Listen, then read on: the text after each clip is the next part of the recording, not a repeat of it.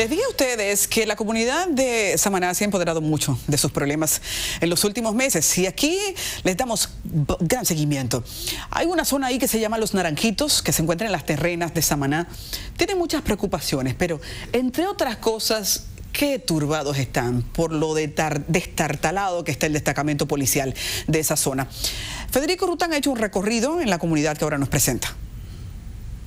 Producto del mal estado de este destacamento y poco personal, los moradores de Naranjito han tenido que servir hasta de policía para cuando sale el único miembro de la uniformada a patrullar, no se quede solo el cuartel, donde solicitaron más condiciones y personal policial.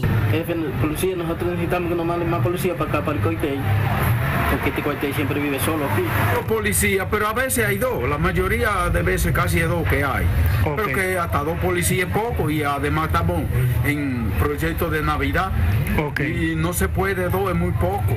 También se quejaron de la empresa distribuidora de electricidad en esa zona, Luz y Fuerza, la cual cobra uno de los servicios más caros en el país que no cuentan con buena energía y la falta de lámparas y transformadores para mejorar el servicio eléctrico. Es muy débil la luz, eso tiene que resolverlo y si no se va. Una vaina, nadie puede hacer nada.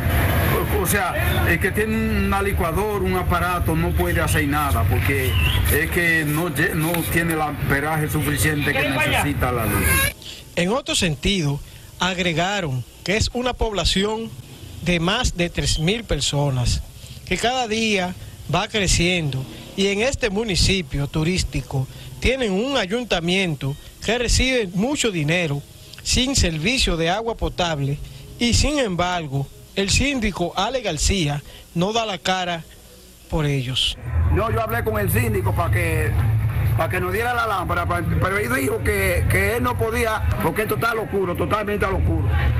Que trabaja y no haya ni, agua ni siquiera para seis eh, ellos prometieron que iban a, hacer un agueducto, no han hecho nada. Aquí la pobre gente comprando chines de agua porque ni siquiera agua hay. Mira, ahora mismo en mi casa yo subí a lavarme a mi papá, que está solo aquí y no puedo lavarle, porque en una gota de agua no la tenemos. Los moradores esperan por las promesas de las autoridades y la visita del director de la Policía Nacional, Ney Aldrin de Jesús Bautista, al monte para que venga personalmente y vea las condiciones del cuartel.